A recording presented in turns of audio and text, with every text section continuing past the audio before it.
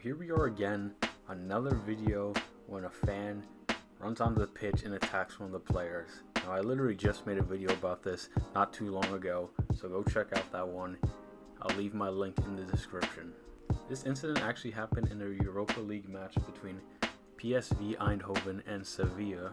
Now PSV actually went on to win the match, but the main story was Sevilla's goalkeeper Marko Dmitrović was attacked by a fan.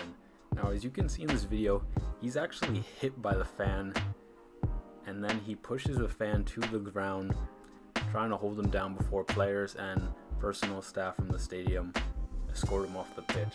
Now, this is crazy because it just seems like it's been so easy for these fans to just hop on the field and just come after the players.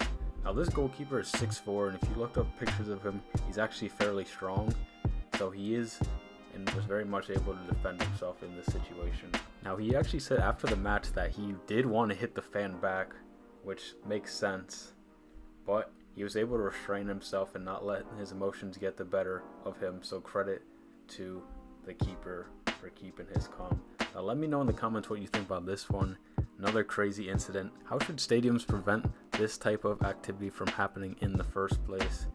And what should happen to these people who commit these crimes. Let me know in the comments. I'll catch you in the next one.